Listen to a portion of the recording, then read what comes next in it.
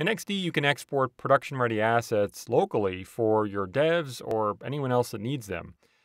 Suppose that in this design, we need to export a series of icons. With this document open or your own, select the content you want to export first. You can select these icons. On macOS and Windows, in the Layers panel, the name of the object becomes the name of the exported asset. So you can set those first if you want to, or leave them at their default names.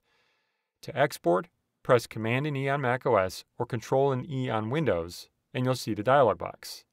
You can choose to export in a number of formats, including PNG, JPEG, SVG, and even PDF. For these icons, we'll look at a few different formats. Let's start with PNG.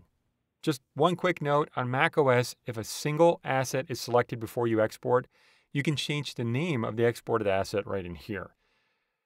Okay, when you select PNG, you can choose to export the assets in the following ways. Design, which is the default option where your asset is exported to one PNG file at 100%. Web, which creates two PNG files exported at 1x or 100% and 2x or 200%. iOS, which exports three assets at 1x, 2x, and 3x resolution. And Android creates a series of assets that are optimized and exported for these Android screen densities you see here. Now, the default artboard sizes for various iOS devices assume you're designing it 1x. So if you use the default artboard sizes in XD, leave your export at 1x. But you'd change design dat to 2x if you doubled the width and height of your artboards. Let's take a quick look at the other formats before we come back. For JPEG, you can adjust the quality. And Web gives you two JPEG files, one at 100% and one at 200%. You can also choose SVG. With SVG, you can choose to embed any images with the vector. All of the SVG code plus the image within is saved as base64.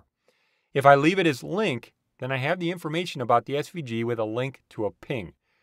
You can even optimize the file to make it smaller so it'll download faster. Choose PNG again and make sure iOS is chosen since these are for an app. Then click Export to see the three images created. Now, another way to export is to batch export. In order to do this, you want to mark the assets that you will batch export first. So, for instance, if you selected other artwork, like these icons, you can select Mark for Export in the Property Inspector you see here. You can also go to the Layers panel and mark for export by clicking on this icon. Now, with nothing selected, you can batch export by choosing File, Export, Batch or in Windows, clicking the icon and choosing Export Batch. In the dialog box, you can choose your format and simply click Export. As you can see, there are several ways to optimize and export your content to create production ready assets when you need.